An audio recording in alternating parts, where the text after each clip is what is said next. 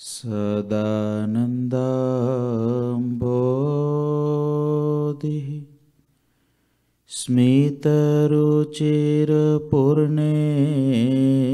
स्मितरुचिरपूर्णेन्दुवदन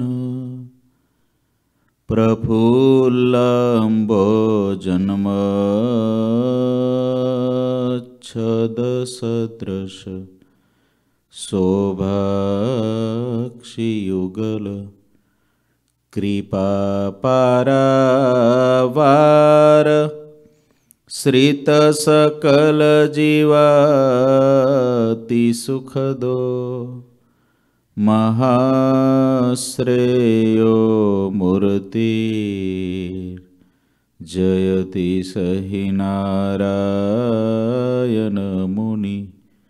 वर्णिवेशरमणीयदर्शनं मन्दहासरुचिरादनाम्बुजम् पूजितं सुरनरोत्तमेरमुदा धर्मनन्दनमहं विचिन्तये। ॐ अवतारिणे श्रीस्वामिनारायणाय नमो नमः। ॐ श्रीहरिकृष्णाय नमो नमः ઓમ શ્રી પૂર્ણ પુરુષોત્તમાય નમો નમઃ. બોલો શ્રી સ્વામિનારાયણ ભગવાનની, શ્રી હરિકૃષ્ણ મહારાજની, શ્રી ગણશ્યામ મહારાજની જય. બધાય ભક્તોને હેતથી જય સ્વામિનારાયણ. સદગુરુ નિષ્કુળન સ્વામી નિષ્કુળન કાવ્ય અંતર્ગત મનગંજન ગ્રંથની અંદર સૌ પ્રથમ શરૂઆતમાં લખે છે, કે આદ્ય પુરુષ એવા ભગવાન સહજાનંદ સ્વામીનું સ્મરણ કરું છું, જે અત્યારે તન ધારીને આ પૃથ્વી પર વિચરણ કરી રહ્યા છે, જનનો ઉદ્ધાર કરી રહ્યા છે, કરોડોના કલ્યાણ કરી રહ્યા છે એવા સહજાનંદ સ્વામીના સરને જે જાય, એને અલભ્ય લાભ મળે છે. કયો લાભ? તો કે જન્મ અને મરણ, એનું દુઃખ જાય છે. સહજાનંદ સ્વામીનું જે નામ જપે છે, એને કોઈ વિઘન વ્યાપતું નથી, સદાય સુખના સમુદ્રમાં એ રહે છે. એમ સ્વામીએ મંગલાચરણની સ્તુતિ દરમિયાન કહ્યું છે. આગળ સ્વામી લખે છે સ્વામી સહજાનંદને જે સરને સોપે શીસ જુએ ન અવગુણ જીવના કરે ગુના બક્ષીસ સ્વામી સહજાનંદને જે સરને સોપે શીસ જુએ ન અવગુણ જીવના કરે ગુના બક્ષીસ. સ્વામી લખે છે, ભગવાનની સ્તુતિ કરતા, કારણ કે ત્રિલોકીમાં કોઈ જીવ એવો નથી જે ગુના ના કરતો હોય. ઓછા વધતા પ્રમાણમાં બ્રહ્માની સૃષ્ટિમાં આવેલા તમામ જીવાત્માઓ નિર્દોષ કોઈ રહેતો નથી. કારણ કે આ માયાની ઝાડને કોલસાની ખાંડની ઉપમા આપવામાં આવી છે. કોલસાની ખાંડમાં કોઈ ઉતરે અને એમ કે કાળો ડાઘ ના લાગે એ વાતમાં માલ નથી. એવી રીતે આ આખી સૃષ્ટિની અંદર જન્મેલા જેટલા જીવો છે, એને કોકને કોઈક જગ્યાએ ક્યાંક ને ક્યાંક ડાઘ લાગે જ. ડાઘ વિનાનો જીવ હોય નહીં. નિષ્કુળાનંદ સ્વામી કહે છે, ત્રિલોકીમાં કોઈ દીઠો નથી. ત્રિલોકીમાં કોઈ દીઠો નથી. આવું જો સ્વામી કહે, તો વાત આખી જુદી જ થઈ જાય. અક્ષરધામના મહામુક્તો આવે છે, એ વાત આખી નોખી છે. કારણ કે એ તો આ ત્રિલોકીના છે જ નહીં.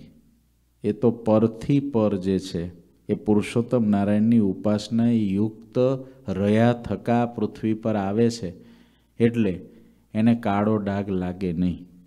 બાકીના મુમુક્ષુ હોય, ઉત્તમ મુમુક્ષુ હોય, સિદ્ધ દશાની નજીક પહોંચવાની તૈયારીમાં હોય, સાધન દશામાં અતિ ઉત્કૃષ્ટ હોય, અતિ સજાગ હોય, અતિ તપસ્વી હોય, અતિ જ્ઞાની હોય, ધ્યાની હોય, ભજની હોય, આવા તમામ મુમુક્ષુઓને આ બ્રહ્માંડની અંદર ક્યાંક ને ક્યાંક કોઈક ને કોઈક જગ્યાએ ડાઘ લાગવાની શક્યતાઓ છે જ. એટલે જો ભગવાનની આજ્ઞાની બેડીમાં રહીએ આપણે, તો ડાઘ ઓછા લાગે. આજ્ઞા બહાર જઈએ, તો ડાઘ ડાઘ ને ડાઘ જ પડે. સ્વામીએ કીધું આપણું આજ્ઞાએ કરીને શોભે. પણ અહીં સ્વામી ભગવાનની સ્તુતિ એ કરે છે કે જે ભગવાનને પોતાનું શીશ સોંપી દે છે, પોતાનું માથું આપી દે છે. હે મહારાજ, આ માથું હવે તમારું છે. હું તમારો છું. એવી રીતે જે ભગવાનને પોતાનું શીશ સોંપે છે, જુએ ન અવગુણ જીવના, કરે ગુના બક્ષીસ. ભગવાન એક જ એવા છે. ભગવાનને ધારી રહેલા ભગવાનના મોટા પુરુષો એક જ એવા છે કે જે આપણા હજારો ગુનાઓને માફ કરી શકે છે. હજારો ગુનાઓને માફ કરવાની શક્તિ જેમાં છે, એનું નામ પરમાત્મા એનું નામ મુક્ત. એને પરમાત્મા કહેવાય. કાં તો પરમાત્માના આદેશથી આ પૃથ્વી પર આવેલા મુક્ત કહેવાય. અને કોઈનો કોઈ પણ ગુનો માફ ના કરી શકે. એનું નામ જીવ કહેવાય. જીવ છે ને, કોઈનો ગુનો માફ કરી શકશે.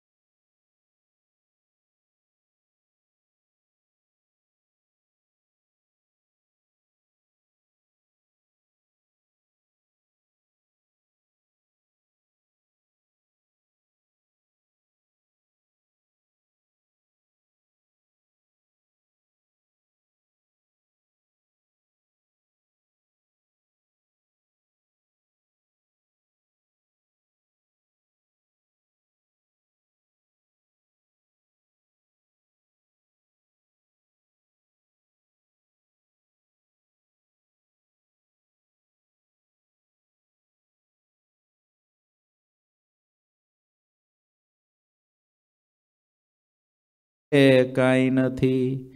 જે મળ્યા છે તમને તે પાર છે અક્ષરથી. જે તમને મળ્યા છે એ અક્ષરથી પાર મળ્યા છે. પણ અહીં આગળ કે છે, જુએ ન અવગુણ જીવના. જ્યારે જીવ ભગવાનનો શરણાગત થાય છે, ત્યારે એને અનંત ગુનાઓ એના ભગવાન માફ કરી દે છે. અનંત ગુનાઓ. આપણે જ્યારે ભગવાનના શરણાગત થયા, સદગુરુએ જ્યારે આપણા ગળામાં કંઠી બાંધી આપણને ભગવાનના શરણાગત કર્યા. સદગુરુ શરણાગતિ ભગવાનની લેવડાવે છે. આપણને જ્યારે વર્તમાન ધરાવે છે, કંઠી બાંધે છે ને, ત્યારે એ સદગુરુ ભગવાનને પ્રાર્થના કરે છે કે, હે પ્રભુ, આ જીવના આગળના બધા જ ગુનાઓને તમે માફ કરજો. એનું સંચિત કર્મ જેટલું દુષ્કૃત હોય એ બધુંય તમે એનું માફ કરજો. હવેથી આ જીવ ક્રિયમાન કર્મ જે હવે કરશે એ તમારી આજ્ઞા પ્રમાણે કરશે એટલે પાંચ વર્તમાન આપણને સદગુરુ ને સંત લેવડાવે. દારૂ, માટી, ચોરી અવેરી વટલવું નહીં, વટલાવું નહીં. શિક્ષાપત્રી આપે આ પ્રમાણે વર્જો આગળના બધાય ગુના માફ. આના પ્રમાણે વર્જો અને છતાં પણ પાછા કે આમાં કદાચ ફેર પડી જાય તો નિષ્કપટપણે કહીને એનું પ્રાયશ્ચિત લેજો. કેટલું શાસ્ત્રોએ આપણા કલ્યાણને અર્થે કેટલું બધું શ્રીજી મહારાજે સરળ કરી આપ્યું. આપણે જ્યારે શરણાગતિ ભગવાનની લઈએ, ત્યારે ભગવાન કે આગલા બધા ગુના માફ. આપણને જે હાથમાં જળ લેવડાવે છે ને, અને ત્યારે જે સંકલ્પ કરાવે છે ને, એ સંકલ્પ કરાવે છે, ત્યારે આપણા આગલા બધા જ કર્મો, સંચિત કર્મો જે જીવના હતા, એ બધાનો નાશ થઈ ગયો. પછી શિક્ષાપત્રીને પાંચ વર્તમાન આપ્યા. અમે સાધુ છીએ તો અમને શિક્ષાપત્રી અમારા પાંચ વર્તમાનને ધર્મામૃત. આ અમને આપવામાં આવે. અમારા માટે ત્રણ ગ્રંથ છે. શિક્ષાપત્રી, ધર્મામૃત અને નિષ્કામ શુદ્ધિ. આ ત્રણ ગ્રંથ અમારા માટે છે. તમારા માટે બે, તમારા માટે શિક્ષાપત્રી એક ગ્રંથ છે. એમાં પાંચ વર્તમાન એને અંતર્ગત આવી જ જાય છે. આટલા ગ્રંથને પાડીએ એટલે ભગવાનના શરણાગત આપણે સંપૂર્ણ થઈ ગયા. પાછા એ શાસ્ત્રો આપણને આપ્યા પછી પાછું ભગવાને અને સદગુરુએ દયા એ કરી કે તમે કદાચ આ વર્તવામાં ક્યાંક કાચા પડો. અથવા તો ક્યારેક દેશ કાળના પ્રધાનપણાએ કરીને કંઈક ફેર પડી જાય. તો શરણાગત છો. આવી એનો સ્વીકાર કરી, એનું પ્રાયશ્ચિત લઈ અને ચોખ્ખા થઈ જાઓ. જેવી રીતે કાદવમાં પડ્યા હોઈએ અને સ્નાન કરીએ, તો શરીર કાદવવાળું પછી રહે. ચોખ્ખું થઈ જાય.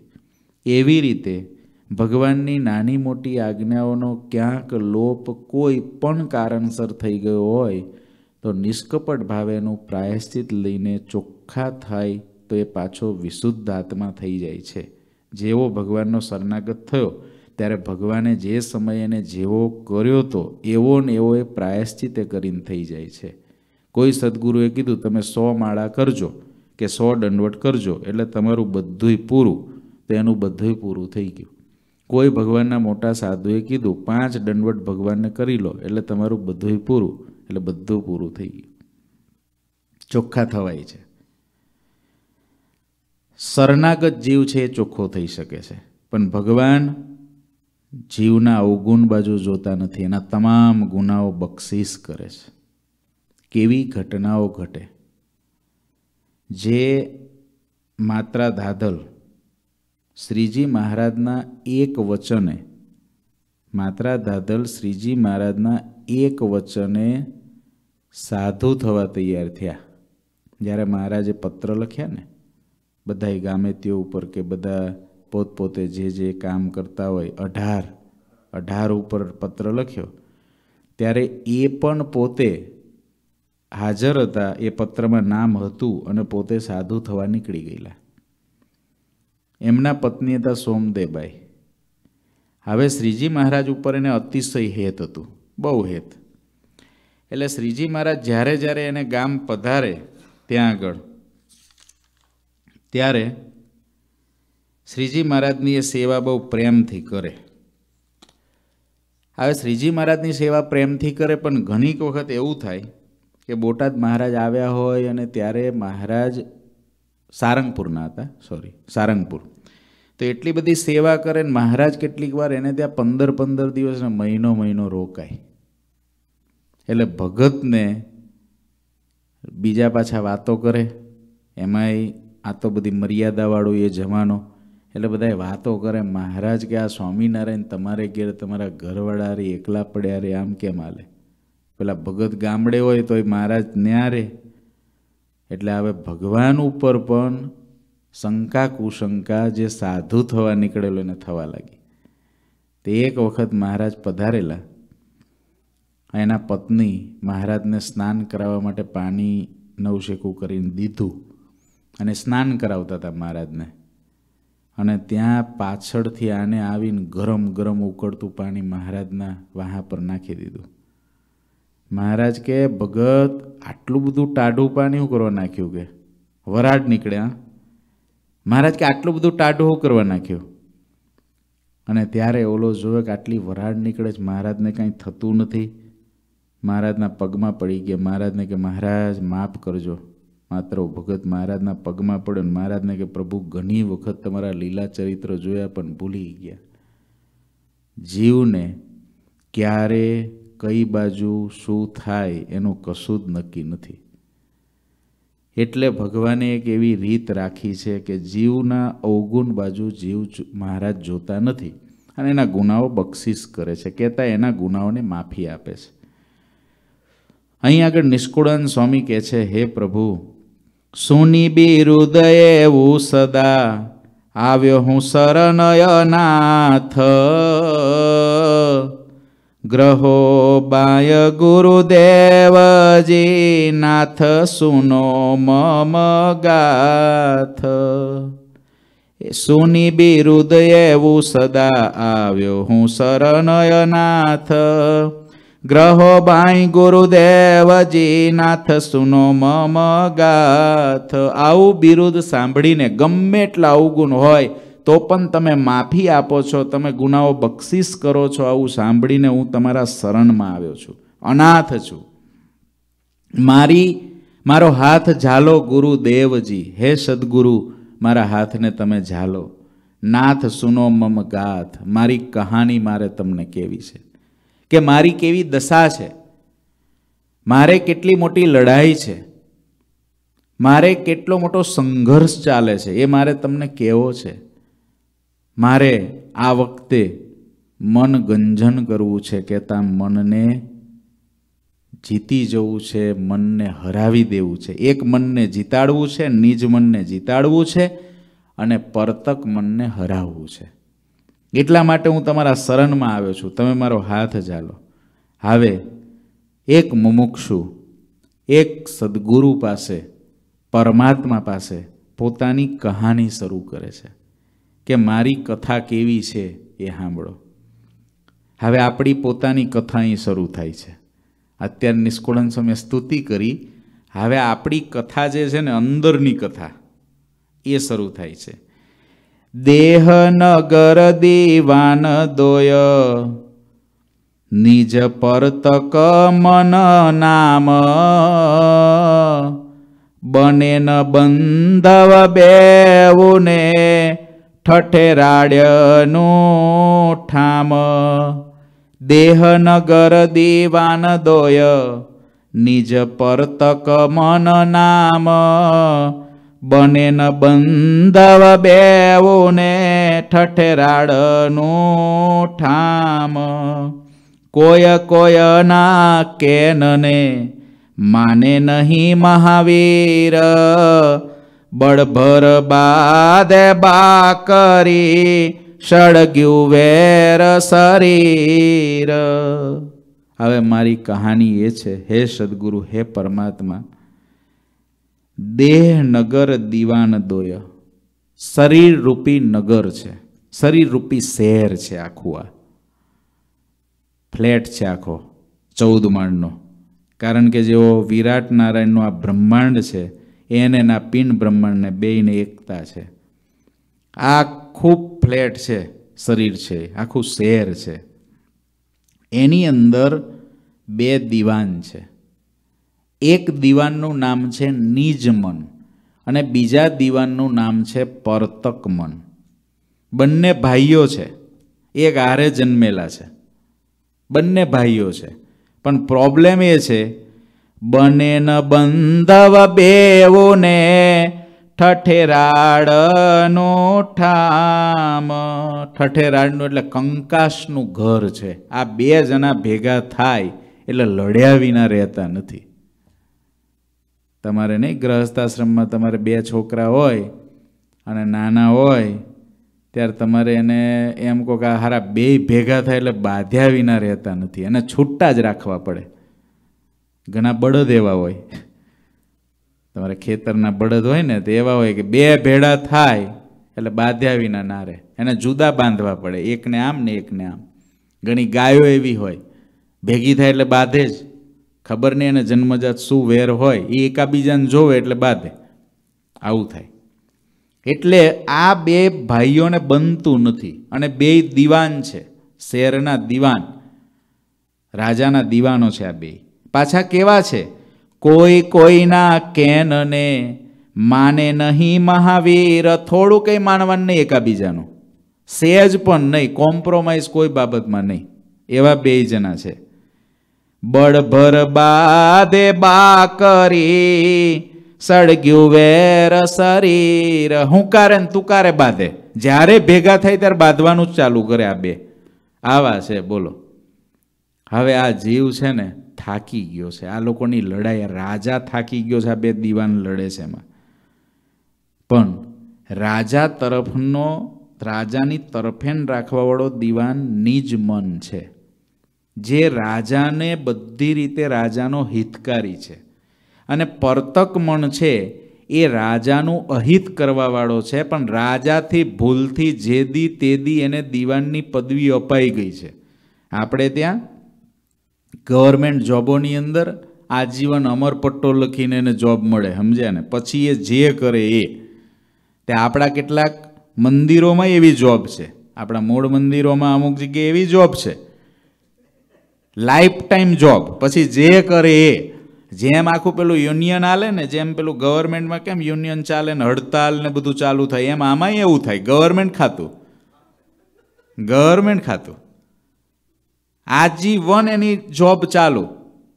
એવી રીતે જ્યારે લેવાનો હતો, આ પરતક મનને દીવાન બનાવવાનો હતો, ત્યારે રાજાએ ધ્યાન રાખ્યું નહીં અને એને એન્ટ્રી આપી દીધી.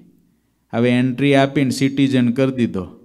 હવે કાઢવો કેમ? આવે તો એને જેલમાં રખાય. એકવાર અમેરિકાનો સિટીઝન કરી દીધો, તો આવી એ ગુનો કરે તેને જેલમાં રખાય, એની સિટીઝનશીપ થોડી પાછી લેવાય. ગ્રીન કાર્ડ હોય ત્યાં સુધી પાછું લઈ લો. વિઝા હોય ત્યાં સુધી કેન્સલ કરી દો. પણ સિટીઝનશીપ આપી દીધી. નાગરિક થઈ ગયો અહીંનો. પછી તો એને કદાચ એની જેલમાં રખાય, નજર કેદમાં રખાય. પણ એનું નાગરિક પણ અહીંનું જે આપ્યું છે એ પાછું ના લેવાય. એમાં કોઈ જગ્યાએ નથી કે આનું નાગરિકપણું પાછું લેવામાં આવશે. ગ્રીન કાર્ડ સુધીની સિસ્ટમ છે કે જો કંઈક આમાં તપાસ થાય તો પાછું. જ્યારે એને નાગરિક બનાવવામાં આવે, ત્યારે બધી જ રીતે એને જોઈ લીધેલો છે. અને હારો નાગરિક બન્યા પછી આતંકવાદી થાય ત્યારે શું કરવું? કોઈ દેશનો નાગરિક થઈ ગયો અને પછી એને ત્યાં આગળ ધમાલ કરવાની ચાલુ કરી ત્યારે શું કરવું? અને સૌથી મોટામાં મોટો પ્રોબ્લેમ જ્યારે કોઈ અયોગ્ય વ્યક્તિ અયોગ્ય, આપણી યોગ્ય જગ્યાની અંદર અયોગ્ય વ્યક્તિ આવી ગયો અને નાગરિક થઈ ગયો અને પછી જે ધમાલ કરે ને, એ ધમાલને કંટ્રોલ કરવી બહુ અઘરી હોય બહુ જ અઘરી હોય છે. એટલે આ રાજાની દશા બહુ ભૂંડી છે. આખા શહેરને તોફાન તોફાનમય કરી દે છે આ બે દીવાન. એવું છે. અને પરતક મન એ કયું છે એ હમણાં આગળ આવશે. પણ આ લડાઈ કેવી છે એનું શ્રીજી મહારાજે વચનામૃતની અંદર થોડુંક કીધેલું છે. એને હું વાંચું છું. એટલે આપણને ખબર પડતી જાય કે આ લડાઈ કેવી છે. ગામ રોચકાના હરિભક્ત કાકાભાઈએ નિત્યાનંદ સ્વામીને પ્રશ્ન પૂછ્યો. અંતરની માહિલી કોરે એક કહે છે, વિષયને ભોગવીએ. પરતક મન. એ શું કહે છે, વિષયને ભોગવીએ. અને એક તેની ના પાડે છે કે આ વિષય ભોગવવાથી કોઈ દિવસ તૃપ્તિ થવાની નથી. પાતાળ સુધી પૃથ્વી ફાટી હોય અને મેઘની ધારાઓ હાંબેલાના ધાર જેવી વરસતી હોય, એટલા વિષય ભોગ ભોગવવામાં આવે તો પણ આ ઇન્દ્રિયો તૃપ્ત થતી નથી. આ જીભને ગમે એટલા ઘીના બટકા જમાડી દીધા, ગમે એટલા મિષ્ટાન જમાડ્યા, ઘી ગોળને લાડુ જમાડ્યા, પણ હજુ સુધી તૃપ્ત થઈ. હવે કહે છે, દાદા, કે પીવડા આવે બસ. એ બસ કે જ નહીં, રસ. આવા દો એ બસ કોઈ દી નહીં કે. કારણ કે પાતાળ સુધી ફાટેલી છે. શ્રીજી મહારાજ મધ્યના સુડતાળીસમાં કે પાતાળ સુધી ફાટેલી છે. આ આંખને ગમે એટલું બતાવો. જ્યારે તમે એને બતાવો ને, પછી કોઈક આ વખતે છેલ્લી વખત, શું કહેશે છેલ્લી વખત. પણ એને છેલ્લી વખત આવશે નહીં. આપણી છેલ્લી વખત આવી જાય, પણ એની છેલ્લી વખત નહીં આવે. આપણે કહીએ કે આ વખતે બસ આ છેલ્લું જમન, પણ એ રહે નહીં. એ પાછી કારણ કે પાતાળ સુધી ફાટેલી છે. કોઈ દી ધરાય જ નહીં. હવે પેલું નિજમન જે આત્માનું મિત્ર છે ને, એ હંમેશા એવું સમજાવે કે ભાઈ, વિષયમાં કાંઈ માલ નથી. કેટલા લોકોએ ભોગવ્યા, કાંઈ થયું, બધાની રાખત થઈ છે અને વિષય ભોગવાથી જમપૂરી મળી છે. એના કરતાં વિષયનો ત્યાગ કરે છે ને, એ સદા સુખી રહે છે. એ કેટલો? આજે જે લોકો સંયમી જીવન જીવે છે, એ લોકો કેટલા સુખી છે? એને કેટલી શાંતિ થઈ ગઈ? કહો, આ લીલું જ્યુસ ચાલુ કર્યું, તો કેટલી શાંતિ, સંયમ થઈ ગયો ને? પણ જો એ ના કર્યું હોય, તો જેટલા ડબ્બા ઘરમાં દહ બાર હોય, એ બધાય ફંફોડવાના કારણ કે નવરાશના ટાઈમમાં કરવું શું? નવરાશના ટાઈમમાં બે જ કામ છે, ફોનની અંદર વોટ્સએપ. બરાબર? થોડું ભજન કરીએ, થાકી જઈએ કેટલું કરીએ. એટલે ફોનમાં વોટ્સએપ. અને તમે ગ્રહસ્થ આશ્રમમાં છો એટલે ડબ્બા. એ ડબ્બામાંથી અહીંથી એક પૂરી લીધી, અહીંથી સેવ લીધી, અહીંથી બટકું લીધું, પાછો થોડા થયા શિંગદાના લીધા, કલાકે કલાકે કલાકે કલાકે ઘંટીને આરામ મળે જ નહીં. બોલો, એની જગ્યાએ આ લોકોએ બરાબર પ્રતિપાદન કર્યું લીલું જ્યુસ પીવો, આ પીવો, આવું થઈ જાય, આવું થઈ જાય, આવું થઈ જાય. તો આ કેટલો મોટો સંયમ, બધા ડબ્બાઓને શાંતિ થઈ ગઈ. બધા ડબ્બાઓને શાંતિ થઈ ગઈ, વિચારો. તે બધાએ હમણાં પૂછતા હતા મને, બે ત્રણ જણે પૂછ્યું, દાદા કે અમારે સારું હવારમાં ઠાકોરજીને થાળ ધરાવીએ, પછી કરવું શું? મેં કીધું, અહીં લઈ આવજો, અમારા દાદા છે. તમે ભલે લીલું જ્યુસ પીવો. તમારે ધરાવેલું, મને કે આ પ્રસાદનો બહુ પ્રોબ્લેમ થાય છે. મેં પ્રસાદના પ્રોબ્લેમનું સોલ્યુશન બતાવું ને. અમારે મંદિરમાં લાવવું મેં કીધું, ભાવથી. કે આ ઠાકોરજીને ધરાવેલું છે, અમારે લીલું જ્યુસ હાલતું નથી. સંયમ, કંઈક આપણે સંયમ ઉપર જઈએ છીએ તો હંમેશા આપણને સુખ જ વર્તે, દુઃખ નથી વર્તતું તમે જુઓ કે જ્યારે અતિ જમતા હતા, ત્યારે હાંધા દુખે, પગ દુખે, હાંફી જવાય.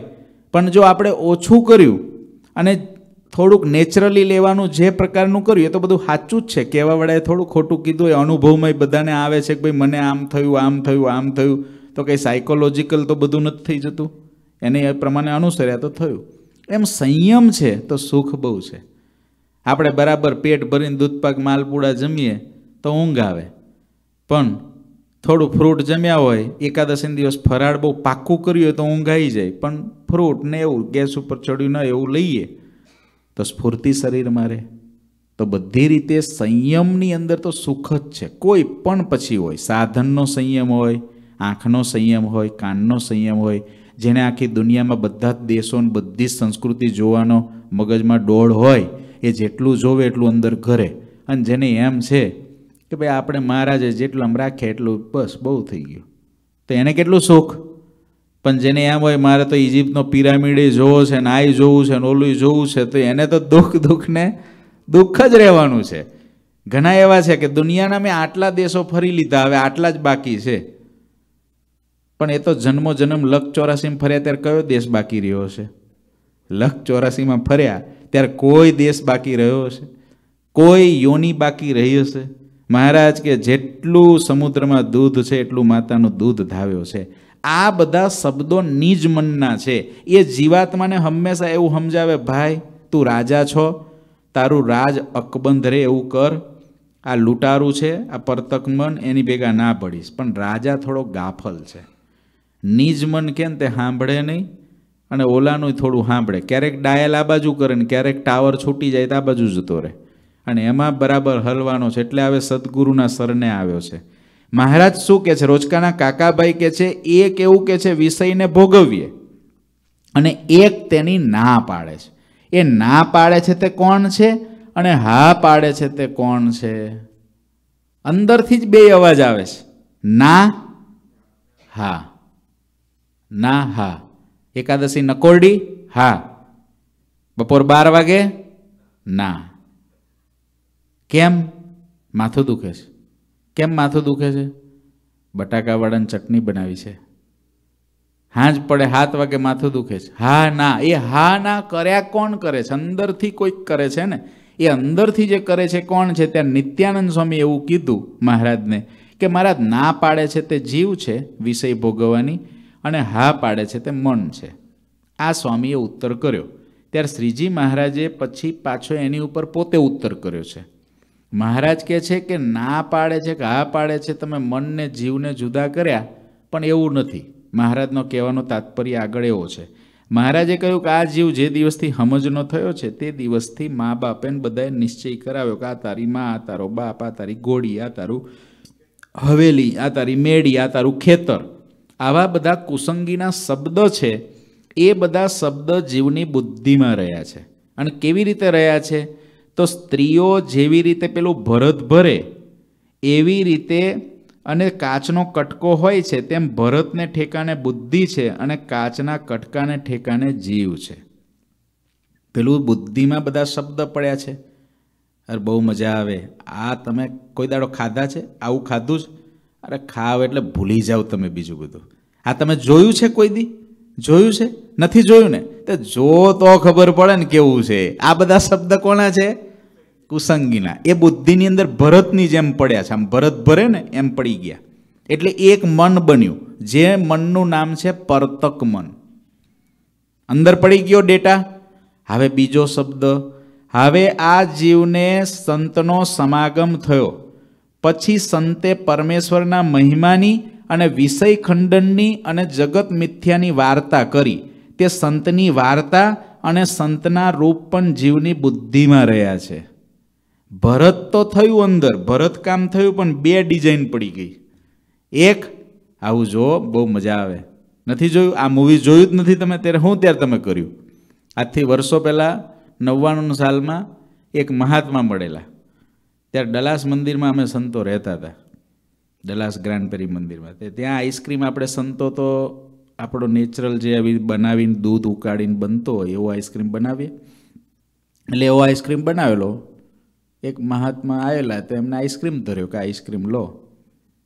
એટલે આઈસ્ક્રીમ એમને લીધો ખરો, પણ એમને મજા ના આવી ગઈ. એમને એમ કીધું, તમે અમેરિકામાં કેટલા વર્ષોથી રહો છો કે?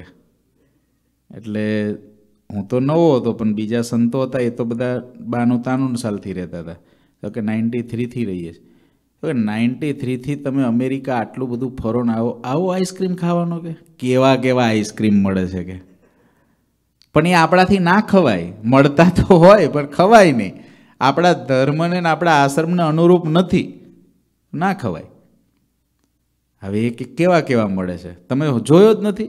આ સ્ટ્રોબેરીનો મળે, ચોકલેટનો મળે છે આવો મળે છે આ મળે છે આ મળે દહ બાર નામ કહી દીધા. આપણે કોઈ દી સાંભળેલું નહીં ત્યારે આવા હોય. એટલા નામ કીધા. હવે એ બુદ્ધિમાં જો જતા રહે, એટલે બુદ્ધિ તરત વિચાર કરે કે આ કેવું હશે? થાય ને? ટૂંકમાં, પરતક મન એટલે જે આપણા આત્યંતિક કલ્યાણની અંદર વિઘન કરે એવી કોઈ પણ વાતો જે અંદર ઘરી ગઈ છે, એ પરતક મનની અંદર રેકોર્ડ થાય છે. અને જે આપણા આત્યંતિક કલ્યાણમાં મદદરૂપ છે, ભગવાનના મહિમાની વાતો, સંતના મહિમાની વાતો, વિષય ખંડનની વાતો, જગત મિથ્યાની વાતો, દેહના સંબંધીમાંથી પ્રીતિ તોડવાની વાતો, આવી જે વાતો છે બધી નિજ મનમાં રેકોર્ડ થયેલી છે. હવે આ બંનેને આપણે દિવાનની પદવી આપી દીધી છે. આપણે રાજા છીએ, આત્મા. આપણે બંને આ બેયને આપણે દિવાન કરી દીધા છે ને બેયને સત્તા એક હરખી આપી દીધી છે. બેયને એક સરખી સત્તા. બંને પોતપોતાની રજૂઆત સ્વતંત્ર રીતે આપણી આગળ કરી શકે. કરી શકે. અને નિર્ણય પછી કરવાનો કોને છે? આપણે. રાજાને કરવાનો છે. હવે થાય છે શું? જેમ કુરુક્ષેત્રને વિશે કૌરવને પાંડવના લશ્કર સામસામા ઊભા હતા અને પરસ્પર તીરને, બરછીને, બંદૂકને, તોપને જંજાળોની લડાઈ થતી હતી, તેવી રીતે કોઈ તલવારે લડતા હતા, કોઈ ગદાએ લડતા હતા, કોઈક બથોબથ લડતા હતા, તેમાં કોઈનું માથું ઉડી ગયું, કોઈના સાથળ કપાઈ ગયો, એમ કચ્ચળ ઘાન ઉડતો હતો. એમ જીવના અંતઃકરણમાં પણ કુસંગીના રૂપ છે પંચવિષય રૂપી શસ્ત્ર બાંધીને ઊભા છે. પરતક મન પંચવિષય રૂપી શસ્ત્ર, શબ્દ, સ્પર્શ, રૂપ, રસ, રંગ, ભોગવી લો. પાછું પડવાનું જ નહીં, થોડી જિંદગી છે. અને આપણે આ જોયું નહીં, ના ખાધું નહીં, ના ફર્યા નહીં, તો કામનું શું? આવું તમે વાપર્યું નહીં, તો હું તમારી જિંદગી એડે ગઈ. વાપરવા જેવું છે, લાવવા જેવું છે. તમે જુઓ તો ખરા આજે આ ફોન એક વર્ષની અંદર મોડલ બદલાતા જાય. એસ એઇટ ને એસ ટેન ને આઈ ટેન ને આઈ ફિફ્ટીન આવી જ જાય અને લોકો પડાપડી કરે. એક ભાઈએ હમણાં સોળસો ડોલરનો ફોન લીધો. કેટલાનો? સોળસો ડોલરનો ફોન. એબીસીડી એથી ઝેડ પૂરા કરતા ના આવડે. એથી શરૂ કરે ને, એ તમે કોઈ એબીસીડી આખી બોલી જાઓ, તો એથી ઝેડ પૂરા ના કરી શકે. મોહ શાનો છે? સોળસો ડોલરના ફોનનો. આઈ ટેન નીકળ્યો છે અત્યારે. એનો. એથી ઝેડ જે એબીસીડી પૂરી કરી નથી શકતો, ક, ખ ઘ પૂરા ના કરી શકે. ઇંગ્લિશનું વાક્ય તો બાજુ પર રહ્યું. એને મોહ જાગે કે આટલો મોટો ફોન ને આવો મોંઘો ફોન લઉં અને લે ત્યારે એને શાંતિ થાય. એને હોડમાં લઈને હોવે ત્યારે થાય કે કંઈક હું મેળવી ચૂક્યો એમ. આવું થાય. જીવની દશા કેવી થાય છે? જો આવા શાસ્ત્રો મોટા સદગુરુએ રચ્યા ન હોત, જો આપણને ગુરુજી જેવા સત્પુરુષ મળ્યા ન હોત, જો આપણને પવિત્ર સંતોનો યોગ થયો ન હોત, તો આપણી દશા પણ આવી જ હોત. આવી જ હોત. ખરેખર, મરણ પથારીએ પડેલા કોઈ જીવાત્માને આપણે જોઈએ ને? ત્યારે આપણને થાય કે જિંદગીમાં જો ભજન ના કર્યું હોય, દેશકાળ સારા હોય, આપણું શરીર સારું હોય, ત્યારે ભજનના, કથા, વાર્તાના અંગ જો પાડેલા ના હોય ને, તો અંતકાળે બહુ દુઃખ થાય. કારણ કે અંગ પાડ્યું નથી, એટલે અંતકાળે દુઃખ થવાનું. અંતકાળે બધી બાજુના વિચારો આવે. અને જો અંગ પાડેલું હોય ને તો તરત એમ થાય કે આ દેહ મૂકશું ના રહ્યું ધામ. આ દેહ મૂકશું ના રહ્યું ધામ. આ મહારાજ હમણાં આવશે અને મહારાજ મને ધામમાં લઈ જશે. આવું થાય. એટલા માટે કથા, વાર્તા, સત્સંગ, ભજન, સ્મરણ એની અતિશય ટેવ પાડવાની. જીવાત્માને એ મય કરવાનો. મહારાજ કે બંને હામાહામી ઊભા છે. એક બાજુ પર સંતના રૂપ એ સંતના રૂપ શું કે છે? ભગવાન સત્ય છે ને જગત મિથ્યા છે. વિષય ખોટા છે. ઓલા શું કહે છે? વિષય સાચા છે. જગત સાચું છે. ભોગવી લો. થોડી જિંદગી છે. મજા કરી લો. એ એવું કહે છે. જે શબ્દ તે રૂપી શસ્ત્ર બાંધીને ઊભા છે ને બેને પરસ્પર શબ્દની લડાઈ થાય છે. તે જ્યારે કુસંગીનું બળ થાય, ત્યારે વિષય ભોગવવાની ઈચ્છા થઈ આવે. અને જ્યારે સંતનું બળ થાય, ત્યારે વિષય ભોગવવાની ઈચ્છા થતી નથી. ક્યારેક નિજ મન જીતે છે અને ક્યારેક પરતક મન જીતી જાય છે. કારણ કે બહારથી જેવું મળે એવું થાય છે. હવે આ જે રાજા છે એને પોતાના સદગુરુને પરમાત્માને એક આ અરજી મૂકી છે કે મારે આ દેહનગરને વિશે આ બે દિવાન છે. બંનેને બિલકુલ બનતું નથી. બંને એકાબીજા સાથે લડ્યા જ કરે છે. કોઈ કોઈના કેનને માને નહીં મહાવીર. બળભર બાધે બા કરી સળગ્યું વેર શરીર. હુંકાર તુકાર કરીને લડ્યા કરે છે. હવે પરતક મન હવથી પહેલા બોલ્યું.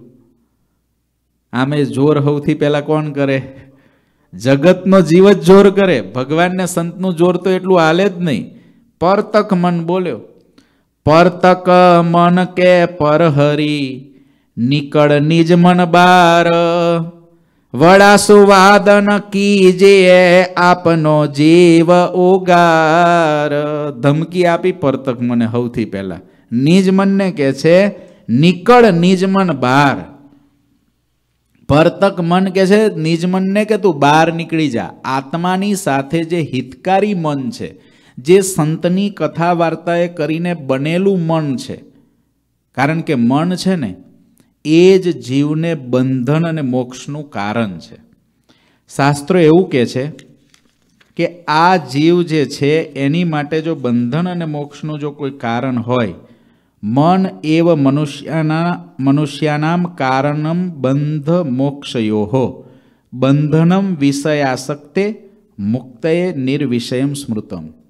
કહેતા, મન જ મનુષ્યના મોક્ષ અને બંધનનું કારણ છે વિષયાસક્ત મન એ બંધનનું કારણ થાય છે અને વિષય વગરનું મન એ મુક્તિનું કારણ થાય છે.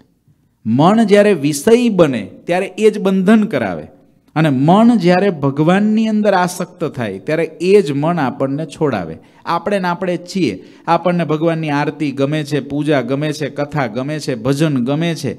છતાં પણ જ્યારે રજોગુણ તમોગુણના વેગ આવે ત્યારે આપણું જ મન આપણને બીજું વિષય તરફ લઈ જાય છે. આપણે જાગતા મુમુક્ષુ હોઈએ એટલે આપણે તરત એની બળતરા થાય, દુઃખ થાય. મારે આવું નહોતું વિચારવાનું, મારે આવું નહોતું ખાવાનું, મારે આવું નહોતું જોવાનું, મારે આવું નહોતું બોલવાનું. આ બધા વિચારો આપણે મુમુક્ષુ છીએ એટલે આપણને આવે. પણ એ લડાઈ ચાલુ રહે. પણ આ મનગંજન ગ્રંથ શું કરવા માગે છે? લડાઈને પૂરી કરવા માગે છે. લડાઈને પૂરી કરી દેવી છે. આર યા પાર. એક વખત આ મનગંજન ગ્રંથને બરાબર સમજી અને ભગવાનને સદગુરુનું બળ લઈને જો આપણે હાચા થઈને મંડીએ, તો આ પરતક મન જે કહે છે આટલું જોરથી બોલે છે. સૌથી પહેલાં એ શું કહે છે સાંભળો પરતક મન કે પરહરી, નીકળ નિજ મન બાર. વડાસુ વાદન કેજે આપનો જીવ ઉગાર. વડાસુ હું કેટલો મોટો? અને મારી યારે તું વાત કરે છે? નિજમનને કહે છે. કારણ કે નિજ મનની નિજ મનનો જન્મ પછી થયો છે. પરતક મનનો જન્મ પહેલાં થયો છે. એ મોટો ભાઈ છે. નિજ મન નાનો ભાઈ છે. અને મોટો હવે આ નિજ મન તો જો ખોરિયામાં જન્મેલો હોય, પરતક મન એ બહુ મોટો જ કેવી રીતે? તો સાંભળો. જીવે જન્મો જન્મથી વિષય ભોગવ્યા જન્મો જન્મથી અને ભગવાનને સંતનો યોગ તો થયો કોકને પાંચ જન્મથી, કોઈને પચાસ જન્મથી, કોઈને સો જન્મથી અને કોકને આ જન્મથી. પણ વિષય ભોગના શબ્દો તો એને યુગો યુગાંતરથી પડેલા છે. અને એ પડ્યા ત્યારે જ પરતક મનનો જન્મ થઈ ગયો હતો. અને જેટલા જન્મોની અંદર એ આવ્યો, એમાં પણ માની લો કે જ્યારે પશુ પક્ષી થયો ત્યારે તો નિજ મનના જન્મ થવાનું કોઈ કારણ જ નહોતું. નિજ મનનો જન્મ જ જ્યારે મનુષ્યનો જન્મ આવે અને જ્યારે સત્પુરુષનો યોગ થાય અને યોગ થયા પછી પણ એમાં હેત થાય, હેત થયા પછી પણ એની વાતને સાંભળવા માટેની તાલાવેલી લાગે તો નિજ મનનો જન્મ થાય. નહીં તો સત્પુરુષને મળેલા પણ પરતક મન જ ખાલી એનું હોય, નિજ મનનો જન્મ જ નથી થયો. હવે પરતક મન યુગો યુગાંતર જૂનું. એનું જ રાજ એ દીવાન જ અત્યાર સુધી રાજાને જેમ ફાવે એમ ફેરવતો હતો. હવે આ જન્મે આ રાજાને સાધુનો યોગ થયો. એટલે સાધુએ કીધું, ભાઈ, આ ક્યાં લક ચોરાસીમ રખડો છો? આમાં શું માલ છે? આ જો હમણાં ઓસ્ટ્રેલિયાની અંદર કેટલું ઝાડવા હળગ્યા પાંચસો મિલિયન પશુઓનું મૃત્યુ થઈ ગયું. પાંચસો મિલિયન પશુ મરી ગયા. ભગવાનને બધાએ પ્રાર્થના કરજો. એના આત્માને ભગવાન શાંતિ આપે. પણ આવું જ્યારે દુઃખ આવ્યું હોય, આપણે જે પાંચસો આપણો જન્મ અત્યારે મનુષ્યનો ના હોત ને એ ઓસ્ટ્રેલિયામાં એ જંગલની અંદર હોત, આવી રીતે કેટલી વખત આપણે મૃત્યુ પામ્યા, કેટલી વખત કમોતે મર્યા, આવા બધા શબ્દો આપણને સંત મળ્યા પછી સમજાવે. ત્યારે તો નિજ મનનો જન્મ થાય. પહેલાં તો નિજ મનનો ગર્ભ બંધાય પછી નિજ મનનો ગર્ભ બંધાય સંતોની વાત સાંભળતા હોય ને, ત્યારે પેલો બાળકનો કેમ નવ મહિના સુધી એનો વિકાસ થાય માના પેટમાં? એમ આનો હજુ તો અંદર ગર્ભ બંધાતો હોય. અને પછી જ્યારે એ નિજમન દ્વારા આત્મા નક્કી કરે કે હવે છેલ્લો જન્મ મારે કરવો જ છે, ત્યારે નિજ મનનો જન્મ થયો. હવે એવો જન્મ તમે જુઓ ને, તો એ જન્મ તો હજુ કોકને આ જન્મે થયો હશે. અને કોકને પચા હો જન્મથી હશે. અને પેલા પરતક મનનો જન્મ તો જન્મો જન્મ પહેલાં થઈ ગયો છે. અને એની પાસે કેટલો દારૂગોળો ભેગો થયો એ અત્યાર સુધી? જેટલા વિષયો ભોગવ્યા, વાંદરો થયો પાડો થયો, જે જે જન્મ આવ્યા ને એમાં જે જે વિષયો ભોગવ્યા, એ બધા વિષયોનો અર્ક, એ દારૂગોળો એ પરતક મન પાસે છે. અને નિજ મન પાસે તો આ હવારા જ અડધો પોણો કલાક કથા સાંભળીએ બે વચનાઓ વાંચીએ ને કીર્તન ગાઈએ કંઈક કોક કરતા હોય ને બે ચરિત્ર વાંચતા હોય તે આટલું મટીરિયલ ભેગું થાય. અને ઓલા પાસે તો બાપ દાદાની યુગો યુગાંતરની પેઢીઓનું ભેગું છે. હવે આપણે કોકની સામે આખા મોટા અનુબમ હોય અને આપણી પાસે પેલી ફટકડી ફૂટે એટલી બંદૂક લઈને નીકળીએ, આ એવું કામ છે. સાધુની વાતો તો ફટકડી જેટલી છે આપણી પાસે. અને પરતક મન પાસે અણુબોમ્બ છે. એક સેકન્ડમાં બધું ઉડાડ દે, એવા અનુભવ છે. કારણ કે યુગો યુગાંતરની બાપ દાદાની પેઢીઓનું બધું ભેગું કરતાં કરતાં આવ્યા, બધો દારૂગોળો ભેગો કર્યો. અત્યાર સુધી લડવાનું હતું જ નહીં. ભેગું કરતા હતા એ લોકો. હવે હવે શું થયું? આ જન્મે સંતનો યોગ થયો. આ મનગંજન જેવા ગ્રંથો ચાલુ થયા. વચનામૃતની વાતો ચાલુ થઈ. હરિચંદ્ર સાગરની કથા ચાલુ થઈ. હરિલામૃતની કથા ચાલુ થઈ. ગુરુજી જેવા સત્પુરુષની વાતો ચાલુ થઈ, એટલે હવે નિજ મનનો જન્મ થયો. એટલે પરતક મન કે આ નાનું છે ને ત્યાં જ ઉડાડ દો. નાનો શત્રુ છે ત્યાં ઉડાડ દો, નહીં તો આપણને આ ઘરમાંથી કાઢશે. કેટલા વર્ષોથી આપણે રહ્યા હોય એને કોઈ કાઢે ગમે? ઇન્ડિયાની અંદર ભાડુતી જે રહેતા હોય, તમે ભાડુતી ઘર દીધું હોય અને દસ અગિયાર વર્ષને પંદર પચીસ વર્ષ થઈ જાય, પછી એ ભાડુતીને કાઢવો હોય ને તો કામ થે, નીકળે નહીં. ભાડુતીને પછી જો કાઢવો હોય તો કામ છે, નથી નીકળતા. કાયદાઓ પણ પાછા પડે એ ભાડુતી સામે. એવી દશા થાય. એમ આ તો ભાડુતી છે પણ કેટલા યુગો યુગાંતરના એટલે આ એને આ શહેરમાં બીજો કોઈ હતો જ નહીં. એનું જ રાજ હાલતું હતું. રાજા તો હૂતો હતો પથારીમાં. બસ. આ કે રાજા આમ કરી નાખીએ, રાજા કે કરી નાખો. જાઓ. એટલે અત્યાર સુધી બધું જ રાજાને પોતાનું ધાર્યું કરાવ્યું છે આ પરતક મને. પણ આ નિજ મનનો જન્મ થયો ને ખબર નહીં આ રાજાને હું બુદ્ધિ હુજી? તે સાધુનો સંગ કરી આવ્યો. સાધુનો સંગ કરી આવ્યો ને એટલે એક નિજ મનનો જન્મ થયો. અને એ જન્મ થયો છે ને એટલે હવે આ પરતક મનને ગમતું નથી. એટલે પરતક મન કે છે, પરતક મન કે પરહરી નીકળ નિજ મન બાર. વડા વડાસો કે જે આપનો જીવ ઉગાર. તું આજકાલનો જન્મેલો. અને અમારે તો બાપ દાદાનું ભેગું કરેલું છે. અહીંથી એક તોપ ગોળો નાખશું તો આખો ઉડાડી દઈશું એના કરતાં સીધે સીધો આ શહેરની બહાર નીકળી જા. ત્યારે નિજમન હવે કંઈક વિચાર કરીને પરતક મનને કહેશે. એ શબ્દોને આપણે આવતીકાલ સાંભળશું. ઘનશ્યામ મહારાજની જે શ્રીપતિમ શ્રીધરમ દેવેશ્વરમ ભક્તિ ધર્માત્મજમ વાસુદેવમ હરે માધવમ કેશવમ કામદમ કારણમ સ્વામિનારાયણમ નીલકંઠમ ભજે ઘનશ્યામ મહારાજ.